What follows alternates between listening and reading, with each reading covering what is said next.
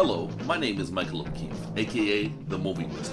If you enjoy this interview and want to hear more top notch film industry conversations, please press the thumbs up, subscribe to this channel, and hit the bell to stay in the know. Number 21. The movie Shapeless played in the Midnight category at the Tribeca Film Festival this year, and to me, it is a very borderline entry, as that kind of movie, which is not inherently good or bad, just my opinion. It tells the story of a performer in New Orleans who has certainly had it has it rough in public and rougher in private, where there are some expressively strange scenes that are surreal, bordering on horror, but not quite going there. It is a reminder that we need to check ourselves mentally by asking ourselves questions, evaluating and course correcting. If possible, this one looks at alcoholism and eating disorders, but it did not really pack a lot of heat in my opinion. It is in the execution that I felt like this project was weaker than I thought it would be, it did not jump out and have those strong genre moments that would have worked for a movie that feels too interior. Number 20. There is a large Indian community to be seen somewhere in New Jersey where the movie India Sweets and Spices is set. It is kind of like how most people seem to be Italian in Jersey when you watch The Sopranos. The movie is a family relationship kind of movie where a young woman comes home from the summer after studying in UCLA, and there is a lot of drama, drama, as well as some examination of class dynamics. The party scenes are fun. There are so many nice costumes, and seeing the North Americanization of Indian customs in our current period is uh, neat to see as well. But I will say this style of movie is not really my thing. I explained the concept of the movie to some females, though, and they were uh, more into it. So I'm not saying this movie is bad, uh, more than I'm not the intended audience. So if you like to mention drama, drama in the movie, then check out India Sweets and Spices. As a Canadian, I cannot help but describe The God Committee as a far fetched horror movie that still works because it is somehow based on reality, which will certainly sound sanctimonious to my American friends.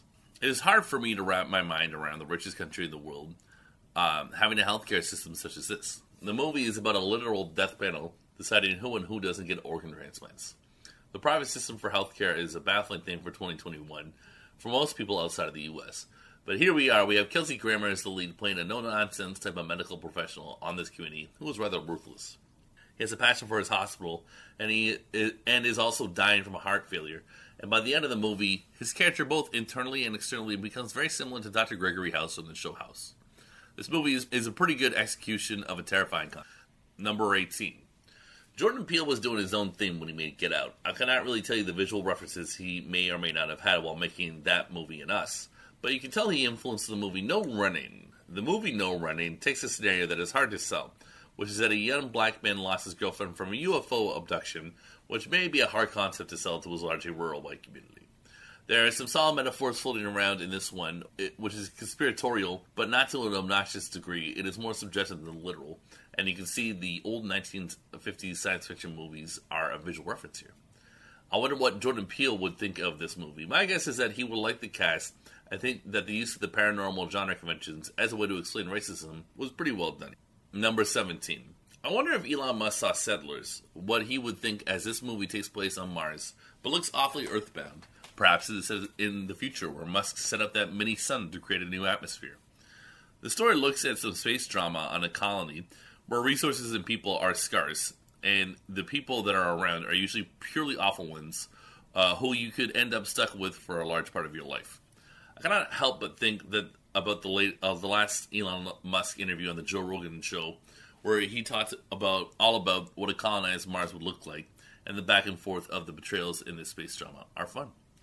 The movie is still not the best drama; it lags at points, and sometimes the acting is not very convincing. But it has enough of a novel content and approach to make me think about this from time to time, so I guess that means it's worth a watch. Number 16. The plot of Catch the Fair One evolves a lot it goes from gritty boxing movie to something about family issues to then become a revenge fantasy regarding getting cinematic justice to those who kidnap indigenous women. Boxy Kali Reis is the lead in this movie, and her look is intense throughout. You're sort of waiting for her to kill somebody, and she does some things that are cold blooded beyond what you might expect.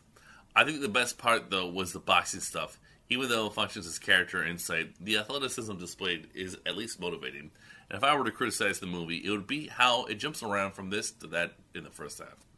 The momentum is a little bit lost, but it is still an interesting story filled with intensity and, in the end, some justice, but at an emotional cost. But if you want to see more gritty movies with female leads, then look for Catch the Fair One. Number 15. The upcoming Disney Plus documentary Wolfgang focuses on legendary Austrian cook Wolfgang Puck, who was an LA legend reinventing the cuisine in that city by experimenting with recipes to the point of worship from celebrities. Johnny Carson would buy over 10 pizzas at a time from him, which gave Wolfgang the idea of starting his own frozen pizza company. His brand lent itself to plenty of restaurants across the U.S., and he even had his own TV show. He seems like the first cook celebrity, but we also learned about the darker side of his life growing up poor in Austria, being initially taken advantage of in LA, as well as a tumultuous marriage that end, ended due to his lack of commitment to fatherhood. There is life and excitement in this documentary that also touches on the darker biographical details, and it also is a very tantalizing feature to watch before a meal. So if you're interested in the celebrity cook, then this is definitely worth checking out. Number 14. HBO will air in the fall a documentary of Shaft director Gordon Parks called A Choice of Weapons, inspired by Gordon Parks, who mainly had a career as a photographer for Life magazine, which I knew literally nothing about before watching this documentary. A lot of renowned people from uh, the world of photojournalism appear in this documentary to pay respect to Gordon Parks, which is a world I'm unfamiliar with, but can to- appreciate totally as well because that is how Stanley Kubrick started. Capturing the beauty and decay found in harsh circumstances is what Gordon Parks did well, and he was able to do that by embedding himself in the situation he was trying to cover to gain trust. It is too bad his film career did not continue after Blaxploitation went out of style, but that movie is the best known of the genre and also has one of the best soundtracks, which I happen to own on vinyl. Number 13. There's some fascinating veering into mad science seen in Father of the Cyborgs, which looks at renowned neuroscientist Dr. Phil Kennedy. And while the tide might have turned against him at one point, he has a zeitgeist quality to him nowadays.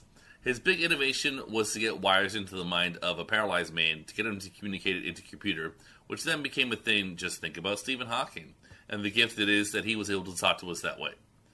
The documentary is a short one, so it shows the rise, fall, and contemporary relevance nicely. It does visual storytelling well, effectively relaying the scientific information in a way that is always thought provocative. The whole cyborg stuff is weird for me, and I personally do not think we need more automation, but the idea Dr. Phil Kennedy presents of having a conversation where we are in, in, in each other's minds, reading thoughts, is a great throwback to The Shining, which I can't resist appreciating. Number 12. While the documentary The First Step has policy positions you may or may not agree with, and focuses on CNN commentator Van Jones, which you might have feelings towards, the documentary itself is a very good emotional journey.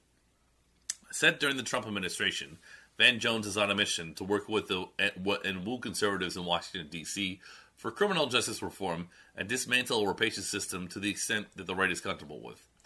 There is a lot of focus on healing the divisions through dialogue instead of resentment in the documentary, there are scenes of black people from South LA talking to white people from West Virginia to try and understand each other. While they may have voted differently, they're uh, both from communities deeply affected by drug addiction, and those scenes rang true to me more so than the palace intrigue of other scenes in this solid document. Number 11. One good reason to be against the death penalty is that not everyone convicted is guilty. Therefore, you will kill innocent people, and that is what we see in The Phantom, which gets new evidence in a case from the 80s in Texas. A guy was framed for stabbing, who just happened to be to have the same name as the man guilty of the crime. It is a terrible example of being in the wrong place in the wrong time, because the other man who was framed is dead. A Texas governor of note, former President George W. Bush, has made no statement about this case since this documentary. I wonder how many journalists have even brought it up during his tr- anti Trump rehabilitation period. What is wonderful about the documentary is not any stance it takes, but how it transcends a Talking Heads documentary into a story that develops like cinema. So it is worth checking out since it is a documentary that effectively develops the form. Number 10. With the documentary Stanley Kubrick, A Life in Pictures from 2001, we get an authoritative view on Stanley Kubrick, as many top tier directors like Woody Allen and Martin Scorsese appear, as well as collaborators like Jack Nicholson and Tom Cruise. Then in 2017, there was Filmworker, which is the documentary about the man's closest assistant, a man named Leon Vitali, who offers further insight into the mind and world of Kubrick. So why make another documentary on the subject? Well, Kubrick by Kubrick is an interesting visual piece. It is a documentary that shows parts of an interview accompanied with visuals as well as further deconstruction. And as Stanley Kubrick was so elusive, this is help, a helpful piece of work. The interviewer is French film critic Michel Ciment, who clearly was picked by Stanley Kubrick to do this extensive interview because of mutual respects, we hear probing questions and answers with typical Kubrickian riddles, reminding us why there are various documentaries on the man. Number 9. Leylak is a short film that is set during Corona in New York City and is playing Tribeca 2021. It looks at a man doing hard physical work, shoveling dirt outside all day, while wearing a mask to come home to more stress. His daughter wants to go somewhere, and it is causing stress. We do not, in the moment, know what it is being, um, what it is for. It being revealed that her mother is in the hospital with Corona. This short develops nicely and has very good acting. Number eight. The visual vibes experienced in God's Waiting Room seem like other movies, both recent and old, but the blend of them make this movie a distinctive ride which fans of dramatic movies will likely appreciate. The director of the movie is also a Hollywood actor by the name of Tyler Riggs, and he told me that he's a big fan of John Cassavetes and Martin Scorsese, but I cannot help but get some similarities to Lady Bird and Moonlight.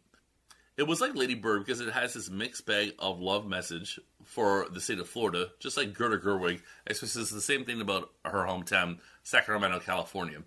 And then it visually reminds me of Moonlight because it is a slick drama set in Florida. While it is a contemporary movie, there is some old school grit seen in a movie like Mean Streets or The Killing of a Chinese Bookie that builds throughout this gritty romance movie and pays off pretty well. So if those things sound nice, then look out for this movie. Number 7. Based on a true story about a Syrian family who made the move to, uh, to a small city in Nova Scotia, Canada, only to defy expectations and start a successful chocolate company that they call Peace by Chocolate. That also happens to be the name of the movie, and it is such a relief to see a story on this subject, and it end up being a feel-good affair that puts some spring in your walk for the rest of the day. It's like Frank Camp- Capra came back from the dead to make a movie in Canada. I feel like this is what a lot of Ron Howard movies aspire to, to do, but it takes a Canadian to make. It is folksy without being obnoxious and optimistic in the end about human nature, which ends up syncing up well with this material. The movie also provides a lot of tantalizing shots of chocolate, which will certainly make you yearn for it at some point. I myself will be looking out for this chocolate scene here the next time I am at a Sobeys. Number 6. The thriller See for Me is another example of how many great moments can be captured in Canadian cinema, from the main character to the concept to the lighting to the scripts. I felt like all this was fa- fantastic stuff. The story is a young woman is house sitting in upstate New York in a mansion that is up on the hill and totally isolated from society. So she is very vulnerable, and at a crucial moment, we learn that she is blind. Then a bunch of sketchy home invaders come in to rob the safe, and she calls the cops until she decides to scheme with the gangsters for a cut. So she calls the cops back saying she was mistaken, but a cop is coming by anyway. There's a lot of back and forth morally and strategically in this movie that truly does keep you guessing, and the development is a lot of fun. I like the actors, and I felt like the lighting made this one look like a real professional piece of work. Number five, the genre movie of sorts Ultrasound was my second favorite movie in the midnight category this year at the Tribeca Film Festival, and is ultimately a testament to the hilariously strange acting, dialogue, and scenarios. The first scene was perhaps the best scene I saw all festival, which was a very funny, uh, wild wife sharing situation with a stranger that should not really be summarized in any review in depth. It should be felt. The movie has a lot of interesting parts, but it does not have the best continuity. But sometimes in a genre movie that is fine, and it's not really here. There is some sloppiness that can lead to confusion. However, the actors do a great job with the material, and there are actually memorable moments, which we crave as fans of mind-bending cinema. There has to be a funky edge to it, so we can recollect it excitedly to friends. Number four. As a millennial who grew up with the Chappelle Show, my knowledge before watching Bitchin', The Sound and Fury of Rick James, was limited to hilarious incidents, but still degrading nonetheless, which is why I was so happy to watch this documentary. I learned that Rick James made music with Howie Hawkins and Neil Young in Toronto during the 1960s because he was a draft dodger. He made Motown music, and even knowing about his rivalry with George Clinton was interesting to know. Of course, we do get the crazy things that occupied large parts of his mind, going from details to his house parties in the glory days to eventually having very dark days living in a crack house until he became publicly ridiculed and died before hitting 60. The documentary is nearly two hours, so it felt like a feature film that just happened to be in the form of a documentary. It has all the excitement and intrigue of a really good movie, so open your mind to this artist and his tale. Number three, The One and Only Dick Gregory is a fun name for this documentary that looks at Dick Gregory, a comedian I became familiar with in the late 2000s and whom I thought was hilarious in the very strange show called Wonder Showzen. The man in his later days was a true surrealist and lucid visionary of sorts. and that was my flavor of the month for a bit.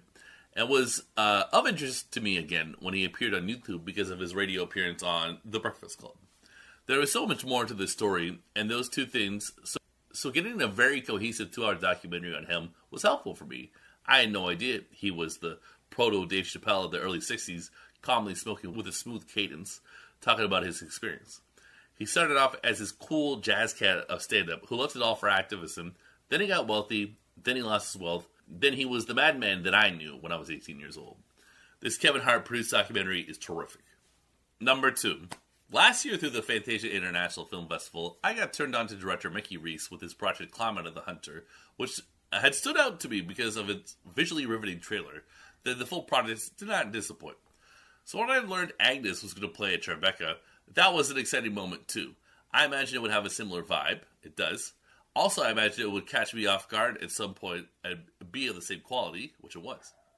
I would say that Agnes is a little bit better than Climate of the Hunter its story evolution uh, did not work for everyone, but worked for me, so take my word on it that you will most likely like the direction it goes into.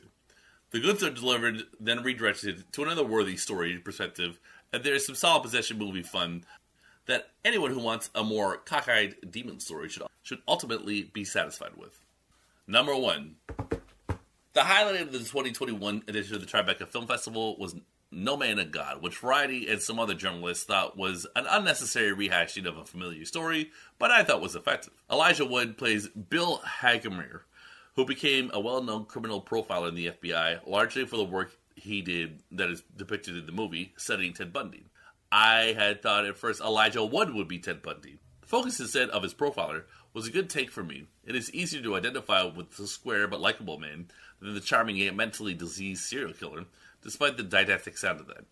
The two men's back and forth is really intense and totally drained me before working a shift, which I believe made it effective, and it is a compliment to the filmmakers when their horror movie can sort of ruin the rest of your day.